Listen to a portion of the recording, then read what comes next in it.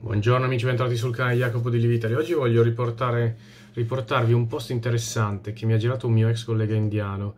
E questo post ehm, è relativo alla situazione del mondo del lavoro per, in particolare, gli informatici indiani in India e qual è la differenza per loro di lavorare in India, lo stipendio che percepiscono in India e in Inghilterra per chi non lo sapesse, per chi non fosse troppo del mestiere, eh, negli ultimi vent'anni eh, c'è stata una collaborazione molto stretta tra il mondo cosiddetto occidentale, le grandi aziende, banche, multinazionali, qualsiasi grossa azienda si sono quasi sempre appoggiate a manovalanza, la chiamo manovalanza ma comunque sono persone specializzate e molto competenti, manovalanza tecnico-informatica indiana gli indiani sforrano ogni anno milioni di ingegneri informatici, hanno sempre avuto un pool di tecnici molto, molto grande, quindi le relazioni tra il mondo dell'informatica e penso non solo, comunque in particolare dell'informatica e il mondo occidentale sono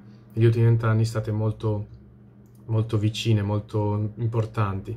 Immaginatevi una grande azienda che ha un, magari il supporto informatico, la gestione di server, applicazioni in parte, tra virgolette, delocalizzata in India. Questo è una cosa che non è nuova, c'è da, come vi ho detto, da ormai vent'anni, da quando c'è internet, perché evidentemente il costo di questi informatici, di questi tecnici era molto basso, estremamente basso, se ehm, delocalizzato in India.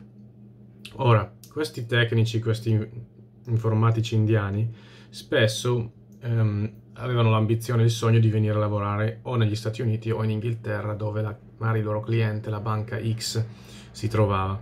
Ed era prassi, ed è tuttora in parte prassi, sponsorizzare mh, i talenti migliori o i tecnici più in gamba per portarli o a New York o a Londra, giusto per capirci. Questi giustamente dicono, visto che mi trasferisco nel mondo, nell'Occidente libero, lo stipendio è molto più alto, più possibilità di crescita, mi avvicino al management occidentale. Questa era la logica che seguivano gli, questi, questi indiani, questi specialisti indiani. Ora, è molto interessante notare come la situazione sembra quasi, quasi ribaltata, perché se vent'anni fa assumere un tecnico informatico poteva costare, non lo so, 10.000 sterline, eh, questo era lo stipendio che riceveva magari in India, adesso a quanto pare gli stipendi indiani, per chi lavora in India, sono talmente alti, sono quasi uguali a quelli dell'Inghilterra. Cioè, vi rendete conto? Il gap è talmente piccolo che per un indiano oggigiorno trasferirsi dall'India a Londra o comunque quasi tutto il lavoro a Londra, lo sapete.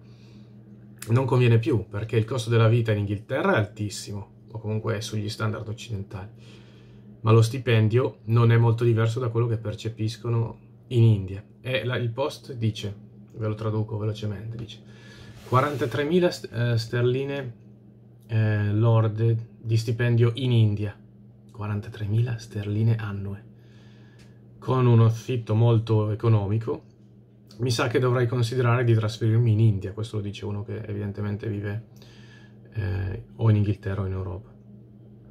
Come mai eh, nessuno dall'India vuole venire nel Regno Unito con stipendi simili, tasse più alze, alze, alte e un costo della vita molto più alto?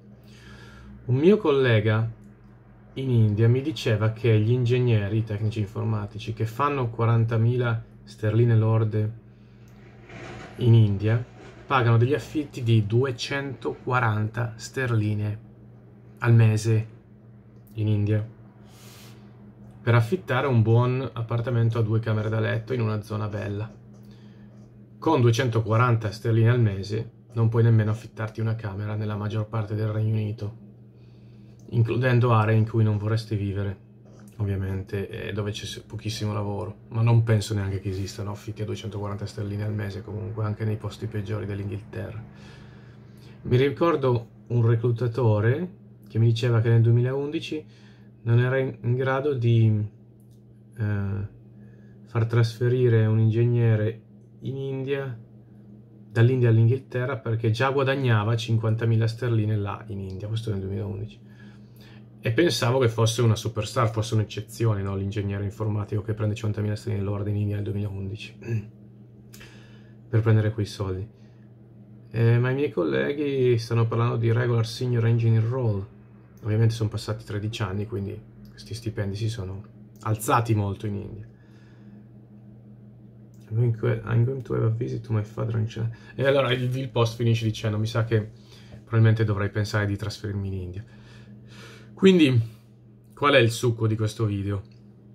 Che l'India ha avuto una crescita di stipendi enorme, notevole, che ha quasi raggiunto uno a uno con l'Inghilterra e il resto d'Europa. Il costo della vita resta molto basso, rispetto a quegli stipendi, perché 240 sterline al, al mese di affitto, non 1200-1500. E eh, il lavoro che fanno è lo stesso che farebbero qui. Eh, di conseguenza vediamo che l'Occidente declina con stipendi stagnanti da 10-15 anni che, sono, che non crescono, il costo della vita esploso, tasse che continuano a salire, mille problemi che tutti conosciamo, mentre posti come l'India sono mm, a quanto pare molto migliori del, no, del nostro mondo, perché in India uno specialista guadagna quasi come in Europa, ma il costo della vita è 7 volte di meno, 8 volte, 10 volte di meno. Poi mi potrete dire, ah in India non ci vado, fa schifo, quello che volete. Però arriverà il punto in cui forse molti cominceranno a andarsene persino in India, perché l'Europa inclusa l'Inghilterra, sono, saranno diventati invivibili. Capito? Questa è la situazione e il futuro non è per niente roseo per noi occidentali. Ci vediamo presto con altri aggiornamenti dal mondo del lavoro, mettete mi piace, iscrivetevi. Alla prossima, queste informazioni non le trovate, vedo solo io. Ciao!